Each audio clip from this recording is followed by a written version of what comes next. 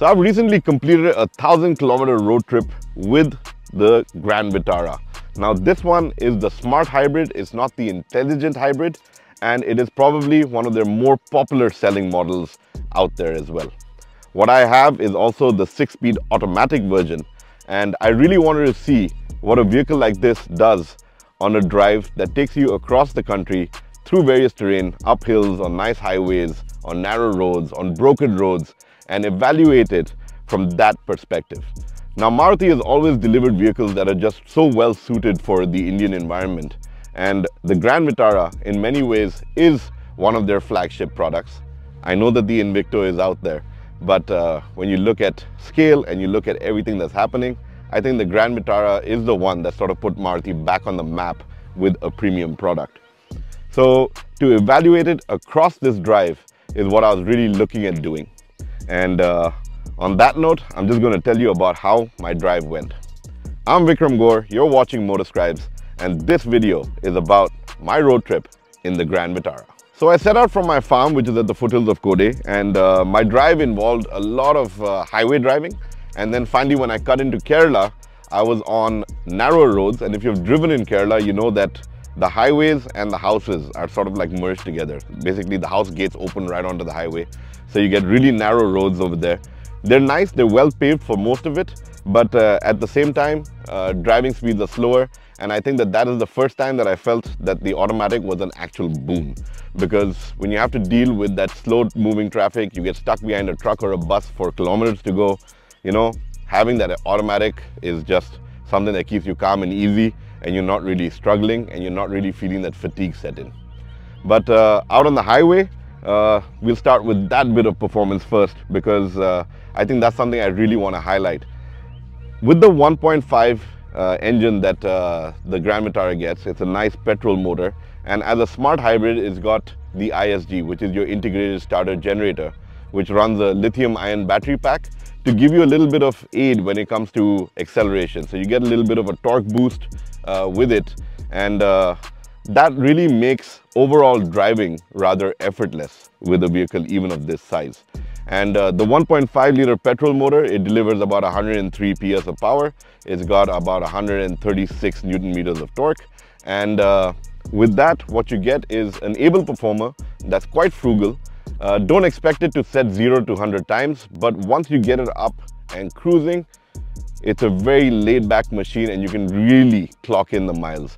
And that's something that I kind of enjoyed while being out on the highway. The other thing that I really noticed while out on the highway was the fact that it's an extremely comfortable vehicle to drive. I mean, the seats feel great. You can get that perfect driving position. You know, getting the ergonomics right is something that's extremely important when it goes out uh, to driving a car long distance. And from the get-go, the Grand Vitara proved to be a very comfortable, nicely spaced out vehicle. I think the ergonomics were great and uh, you know everything's at your fingertips. You got steering mounted controls and uh, you can once you've got your uh, music, uh, you know your phone paired with the uh, infotainment system, it just works brilliantly. So you can select tracks, you can do all of that with the steering controls, not take your eyes off the road and really enjoy your drive as you cruise along at uh, well the speed limit or three digit speeds as you're allowed to in some parts of the country, notch it up to about 100. Uh, but with that, uh, you know, uh, you get to realize that the Grand Vitara is nice and planted. It feels safe, it feels sturdy even at higher speeds. Uh, the steering feels great. Now that's something that I feel, uh, you know, having driven a lot of lighter Marutis in the past, it felt good to feel a vehicle that's uh, coming from the country's largest uh, car manufacturer that feels so planted and nicely done. I think that that's another accolade for the Grand Vitara. As I made my way into Kerala, and as I mentioned earlier, you know, with the narrower streets, obviously the automatic was a big boon. And uh, But over here, the other thing that came out shining was the fact that the engine is extremely frugal even at uh, this sort of start-stop sort of movement. Despite the fact that uh, I dropped a little bit compared to my highway drive in terms of mileage, I still got a very solid 13.1 kilometers to the liter, which I think is actually testament to the fact that it is a very frugal engine. And making my way through uh, Kerala, the other thing that I encountered on numerous stretches was bad roads. And uh, that's where uh, the suspension comes into play Uh, you need great ground clearance to get over some of those bumps or through some of those ditches rather. And uh, over there too, the Grand Vitara proved its mettle at uh, being built right. It's got uh, a really nice ride quality. I think the suspension does a great job, you know, firms up nice on the highway so you have that control. And on bumpy roads, it's nice and soft and soaks in the undulations really well. And you've also got uh, ample amount of ground clearance so that even if you venture off uh, the beaten path, you want to take a nice dirt track somewhere, uh, it will do it. And uh, it will also deal with those pothole roads that I was encountering through and through uh, Kerala. I sort of made my way through. It was a nice coastal run and uh, I found some nice scenic locations to drive through as well. And uh, a couple of pit stops, one of them being Muzhappilangad Beach. It's uh, Asia's largest uh, drive-in beach and I think that that's where I got to have a little bit of fun with the Grand Vitara. And uh, because it's off the road and because it's not uh, on something that's extremely public and we were the only car out there, I could take this out and have a little bit more fun uh, with it, you know, uh, a couple of fast turns maybe. But looked good, it felt good. And again, it just shows that it's a fun machine, a peppy machine if you want it to be, and uh, it will do the trick in entertaining you as well. Uh, but with that, it was a short break over there, and uh, I finally made my way across into Karnataka where the roads finally opened up again. And out here, uh, it was a brilliant run. Uh, I had this notched up to three-digit speeds. Uh, of course, it was a lot hotter, and being the rainy period, it was either sun or rain and a lot of humidity. So having that AC cranked up and doing its job was uh, keeping the cabin really nice and comfortable. Again, you know, on a highway run, uh, while I did touch upon it earlier, you know, having your uh, phone being able to be paired with your infotainment system is a given in today's age. And I think uh, the system that uh, the Grand Vitara gets, uh, which is their Smart Play Pro Series infotainment system, you know, it is a, a very neat system, looks good, I love the graphics, even uh, to the touch, it works really well. And uh, the pairing is effortless. Uh, so you've got wireless Android Auto and Apple CarPlay, which is again another big boon. Uh, you've got your navigation set, you've got your infotainment over there, you've got your music. So, you know, you've got a plethora of stuff that you can access. In fact, you can even answer WhatsApp messages using the voice system. So it makes it easy to stay in touch as well.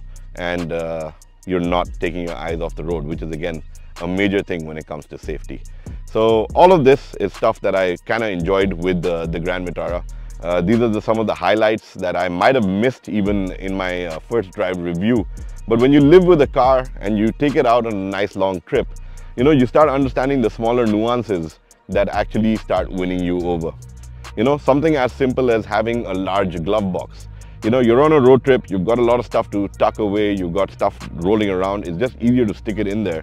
And having a nice big glove box just makes so much more sense. Having great uh, holders in the door for big water bottles. That's again something that you might not notice from the get-go, but when you're out on a road trip, things like this, you know, come into play and you suddenly realize, hey, this is really nice. I've seen other cars that you can't squeeze a liter bottle into. So all of that just shows the thought process that has gone in and makes this a great vehicle to take out on a nice long road trip. Uh, with that, I finally crossed over into Goa and uh, Goa is my destination for this drive. The roads in Goa again, really well paved, narrow, curvy.